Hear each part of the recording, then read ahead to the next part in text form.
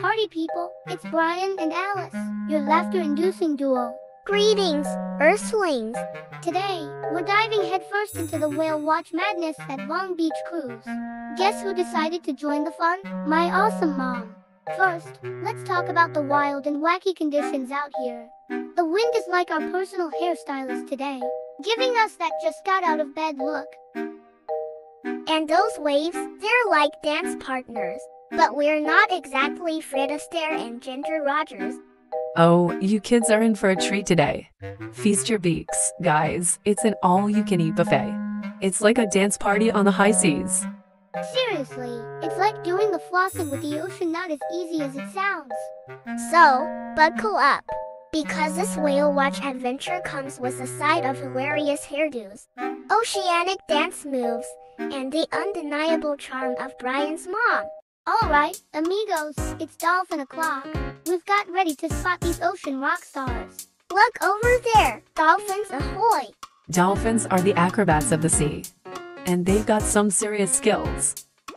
They're like the Olympic gymnasts of the ocean, pulling off somersaults and twists that even I can't do on the playground. Maybe we should recruit them for our dance crew. Dolphins, you've got some competition in the dance-off department. Alright, folks, the dolphins warmed us up. But now it's time for the main event, the whale extravaganza. Witness these oceanic hunters in action. Do you see anything, Brian?